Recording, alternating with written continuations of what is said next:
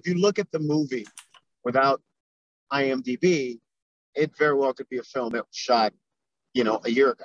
Except for those awesome, awesome fashions. yeah, yeah, right, right, yeah, right, right, right. Until you have like Sean John, you know.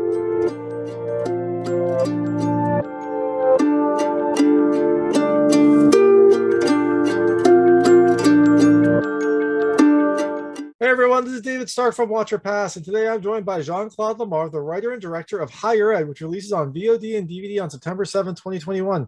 We're going to talk to him in just a second, but first, let's check out the trailer. And while you're watching, if you can like and subscribe to this channel, that would be fantastic. It helps me a lot. Thank you. Yo, Ed, man, you're the only brother I know smoke more weed than I do.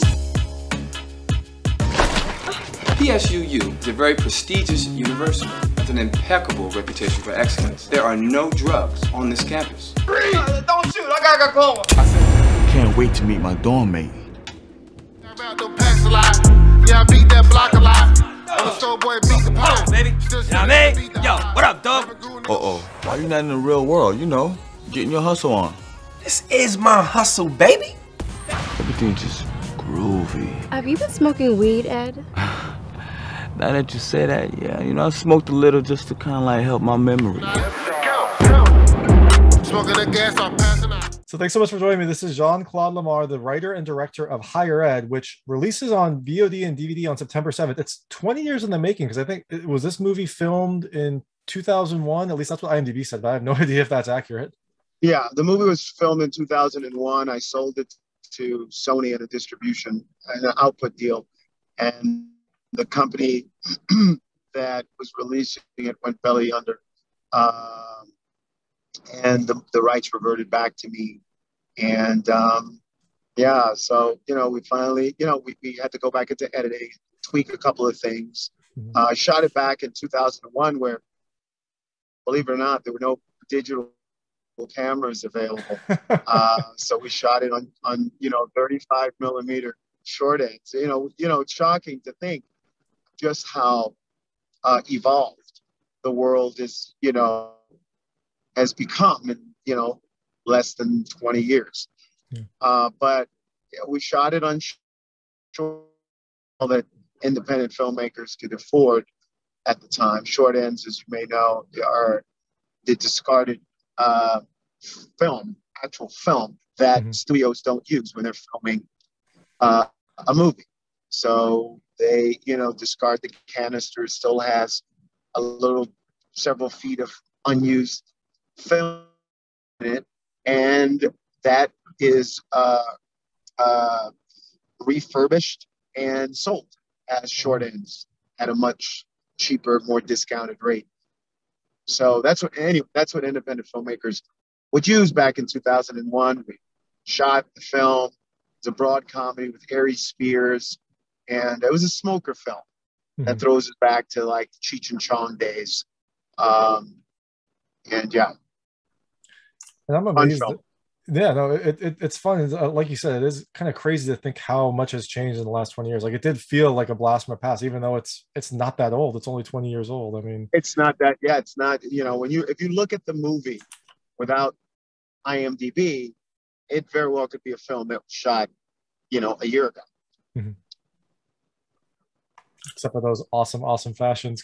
yeah, yeah, right, right, yeah, right, right, right. Until you have like Sean John, you know, uh, you know, yeah. So, um, but yeah, but you know, it's it's uh it's a really funny film. It's a fun film, and like I said, um, it was my first uh full feature, and I think back then it cost me I think four hundred and fifty thousand dollars to film to shoot that uh, that film and that was a very very cheap Mhm. uh, back in 2001 Well, yeah, I mean to get uh, all the, the footage and also all, all the actors and, and the sets and everything that that that's that's insanely good deal for for a film.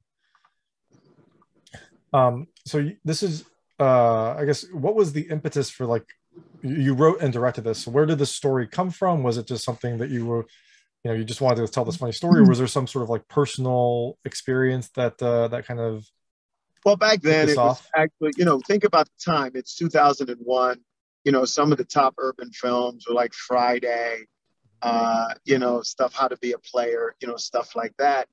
And, you know, I thought to myself, look, you know, I, I grew up in sort of a pretty unconventional way. I was lived in inner city um, neighborhood, which was ridden with crime, but yet right the center of, you know, my community was Brooklyn College, which was a, you know, a, a mecca of an institution, um, you know, and, and it's funny because when you leave the crime ridden blocks neighborhood, you walk into this oasis.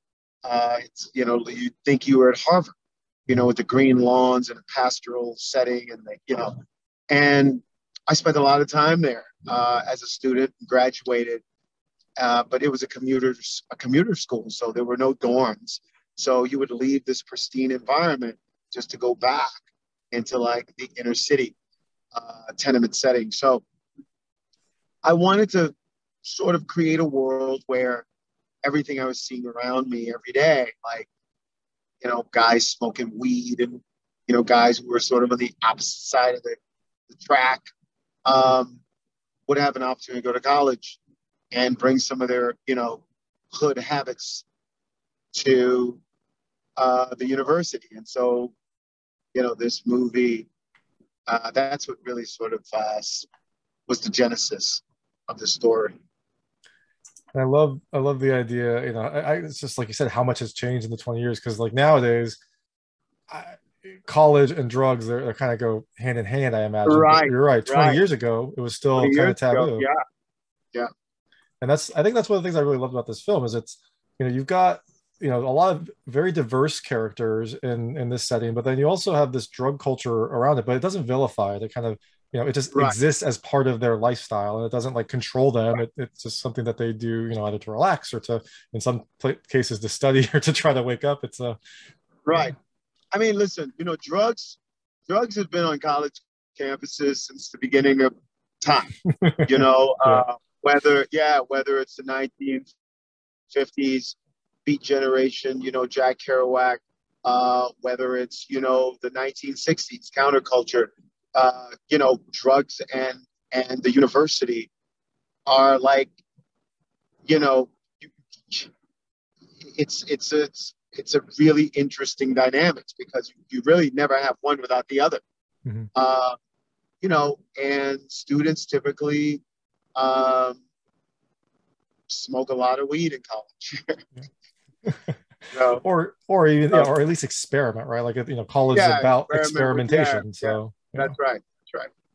Um, you know, so I think the one of the most amazing things also is the cast, right? You've got the uh, I'm not going to pronounce it, Pras from the Fugees. Uh, like, how did you get this cast? Was it just people that you kind of knew, or did you go like a traditional casting call? Was there yeah. was there a way that you assembled them? Yeah, again, you know, part of what we're talking about is the evolution of the world, but specifically the evolution of Hollywood. I mean, you know, you talk about 2001 right? So roles for black actors are far and few between mm-hmm. when you compare it to, you know, 2021, right? Where you've got all these streaming platforms, all these blacks. As a matter of fact, you know, one could argue it's easier to get a black film made today than it is to get a mainstream white film made today. Um, that's how much the world has changed. And and um, back then, there weren't that many black movies being made and it was a SAG film. And, you know, we made offers to actors that we thought would, you know, be right in the roles. And, you know, Aries Spears was at the time uh, pretty widely known from his stint on the uh, TV show uh, Mad TV.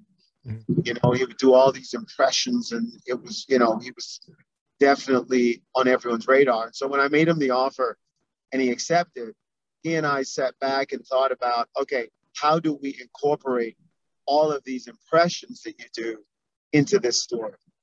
And um, and that's what we did.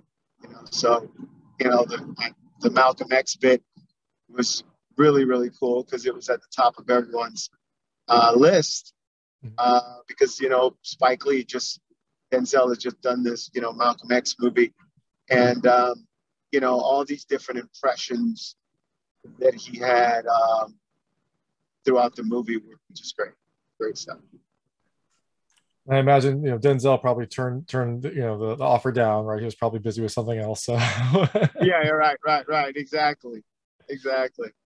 Uh, and, and where was this filmed? I couldn't actually put. Was it actually filmed in in Brooklyn or is it filmed somewhere? No, no, else? no. It was filmed in Santa Clarita. It was filmed in yeah, it was filmed in Santa Clarita. Uh, okay, that's California. really. I, I I had a, a thought maybe it was in. that- I, I grew up in San Clarita, so I was I wasn't certain. But uh, was was it filmed at like College of the Canyons? No, no, it was actually filmed. It's funny. It was actually filmed at a medical complex. um, yeah, because they didn't. No university. Uh, we tried to get, you know, uh, the right to film on some college campuses, etc., and we couldn't do it. Uh, no one, you know, for liability issues, and they had Mhm. they had class, you know, students and stuff. They didn't want to, you know, open their campus up to, to filming. So we found a medical facility which was sort of sprawled out across this, you know, this beautiful landscape of lawns and trees. And we're like, hey, you know what? This could be a college campus. Uh, it looked very similar to the college campus I went to in Brooklyn. And uh, so we, you know, started creating with our production designer uh, signage and, you know, and of course with our uh, extras team, we brought in tons of extras for college students roaming the campus. And uh, we called it Petty State University. That was the name of the uh, fictional college university, Petty State.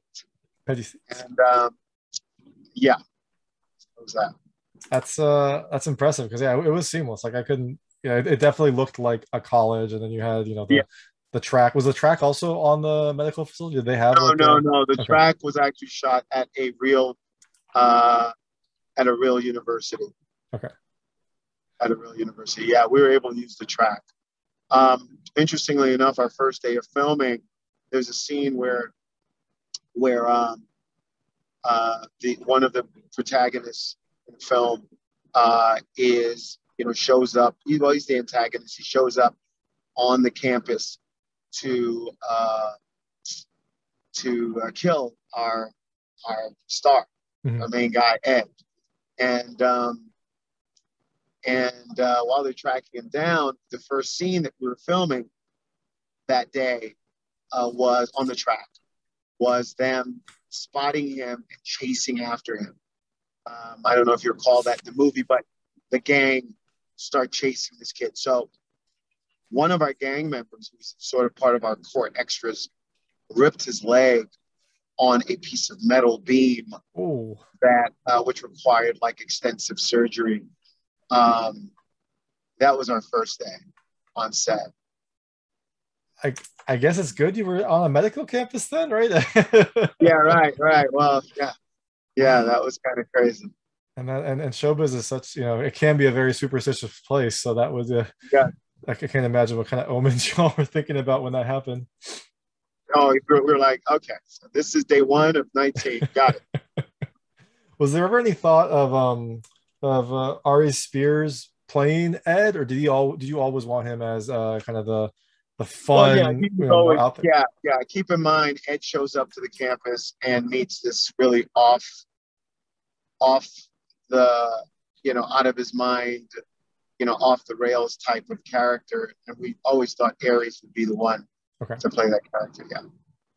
Uh, and then I guess the, the last thing I'm, I'm really impressed with is so 20 years did where like did you have the original footage or did did the production company have it and then you were able to get it back? Like, It was, how did it was actually it was actually in the lab, uh, Kodak, because it was being telecity from 2001. You know, you had to go. It's film. You got to Yeah. develop the film. You got to tell us that You got to go through that whole process, and that's what we did. Um, and the film sat there for you know 17 some odd years. oh my gosh that is Yeah. that is amazing like I, I can't imagine that like that that's so impressive that they just kind of held on to it. I guess they kind of realize how important some of this original film is but Yeah, yeah, they you know, because you know, we some money down, it paid, it's you know, um, Kodak and Burbank. I don't know if they, had a fault, but you know they keep films from the 1950s, and you know they got stuff in there for decades, decades uh, old. So yeah, Um, and I guess you know the other question is, it's being released now. Was there any? Was this just kind of when you got around to the, having the rights back, or was was this like a package deal Yeah, yeah, with yeah, Black, yeah. Black Magic yeah. Live, or yeah, it was approaching its 20th year anniversary. We thought now would be a good time to go ahead and re- release the film. Um, and you know, I, I back, I, the rights referred back to me about five years ago. I just, you know, I've been doing so many other things. I knew I had to go back and edit the film, and uh, that would take some time. So I gave myself the time I needed to do it. Yeah, uh, it's impressive that you're able. I mean, I know you had the deadline of 20 years, but it's impressive that you, you know, had the foresight to edit. You know, give yourself enough time to edit and then get everything into production and ready to be released on the 20th 20 year anniversary. That's a, that is a very organized way of going about. Pretty cool. Uh, so I'd like to go. I call it the lightning round. It's just very lightweight, short questions uh, that relate to the film. I want to see how your experiences map to uh, experiences that happen in the film. I guess the first question is, uh, you know, d- did you go to college? Did you kind of go right into entertainment or acting or anything like that? Yeah, no, I went to college. I did uh, five, four and a half years at uh, Brooklyn College. I got a bachelor's degree in speech communications. I thought I was going to go into speech therapy, uh, and then eventually decided law school would probably be the way for me to go. And then, um, then uh, I don't know. I got the Hollywood acting bug, and uh, uh, Spike Lee uh, offered me a role in a movie that he was doing, and uh, I've been, you know, in the business ever since. You know, I'm I'm, I'm going to say your career was probably more interesting than had you gone to law school. Maybe, maybe a lawyer would been interesting, but I feel like your career right now is, is more entertaining and interesting than uh, than your, your I legal career agree. might I been. uh, so I guess what's the uh, what's the weirdest class you took uh, in college? The weirdest class. Oh wow! Oh oh oh oh yes. Um, this was actually I registered for the class, not realizing it was a graduate class. Oh, uh, in undergrad. Yeah, uh, it was existentialist uh, philosophy. all right. Existentialist philosophy. I remember sitting in the class for the first week, um, literally looking around me, thinking to myself, "Is anyone here, anyone as lost as I am?" Because you all seem to be, you know, you're taking notes, you're asking questions. I am lost, completely lost. I don't understand. I mean, literally, I felt like I was taking a foreign language class. Mhm. It was that crazy to me. Uh, you know, uh, the professor, the professor was a sort of airy, you know, voice, very airy, just aloof, almost kind of not here with us type. And she spoke in this monotone, and I remember her you know, saying something to the effect of, um, doesn't read magazines or newspapers because they're all an assault on her senses. And then she stares out of the window for like, she used to do that a lot, just stare out. It was a big window in the classroom. She'd stare out for like 10, 15 minutes, silence. And then remember she had a class she was teaching and come back to us. Like, uh, yes. So chapter 18, man, I'm like, I gotta get out of here. I have to leave this class, or else, you know. Yeah, I had to get. I so that was the weirdest class I took. I'm amazed you last a week. Let you lasted a week. Like I, I feel like the first day I've been like, nope, this is not for me. Yeah, well, I lasted. You know, it's funny. I lasted a week because everyone else looked like they got it, and. I was like, okay, it's me. Then it's me. You know what? Apply yourself, JC, and let's do this. Uh, no. So the next question was going to be: Have you ever had to wing it on a subject very quickly, uh, kind of like the the main character in higher ed did? But I imagine that was probably the case where she asked you any question, you just have to like make up some answer and just hope that it sounds Oh, coherent. oh, it's so funny. It's so funny you said that. so the scene that I wrote in higher ed comes from that experience. so, so if you recall, the, professor says, "Welcome existentialist uh, philosophy course," and uh, what we'll be discussing today. And then he goes off on this weird tangent, uh, and Ed looks completely lost. Well, I was Ed. there we go. There, there's some inspiration for the film. Uh, yes. And so, so Ed in college, uh, you know, he, he tries out for the track team. I guess he's all, he, he makes the track team. So did uh, did you play a sport in high school or college? Yeah, I was on the swimming team. Okay. In college, I was actually a diver on the team. I did other events, diving is mainly my thing. Oh wow, that's uh that's an intense one. Yeah, it's pretty intense. Uh, and uh, you know, you can choose to pick your college time or your current time. But what is your 40 time? I'm sorry, what's the question? What's your what's your 40 time? If you're doing a 40 yard dash, how, how fast do you think you could do it? You can choose Oh. college or or now. I, I won't judge which time you choose. Yeah, let's choose college. Uh, 40 yard dash. I could probably choose that. Probably do that eh, between eight to 10, between eight to 10 seconds. Yeah. it's A good time. Yeah, It's nice. That's a decent time. yeah. eight to yeah. ten seconds. Because I because I because I could do the hundred yards. I could do a hundred yard dash, uh, in about fourteen, Oh, uh, anywhere between eleven, anywhere between eleven and fourteen seconds. I was in I was in high school Mhm. during that. Yeah, And your 40 time would have been should have been faster than that. You probably have the like six seconds. well maybe maybe it's my yeah, but Yeah. yeah. But I think I think yeah about eight seconds or something. Nice. Uh, and so the main character Ed has to relocate quickly, which which you know forces him to then go to college. Uh, have you? I imagine you probably have with with acting and in the entertainment industry. But have you had to, ever had to relocate very quickly for whatever reason? You know, either for a part or maybe something bad happened. You had to get out of town. Like, uh, you ever had to kind of just pack up and, and, and move very quickly? I mean, I spent four months in Ghana Oh wow. Shooting a film for uh, HBO uh, that Danny Glover executive produced uh, in conjunction with the BBC. So I spent four months in Ghana and then one month in uh, in London. So shooting this film, and um, yeah, it was an interesting experience. It was cool. Yeah.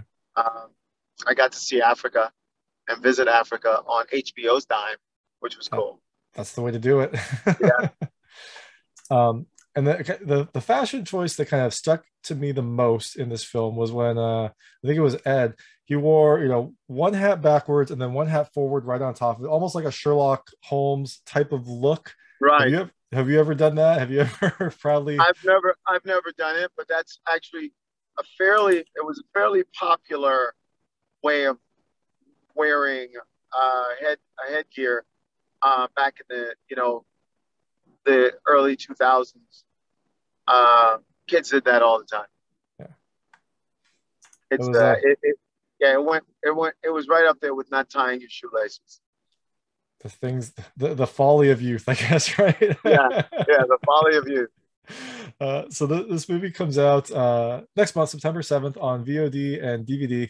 Uh, you know, imagine you're promoting the film, getting it, getting it out there. But uh, are- you know, what's next for you? Are there any other uh, films in, in your personal Well, vault I'm that you'll be working developing a couple of things right. Yeah, I'm developing a couple of things now. I've got a World War II picture.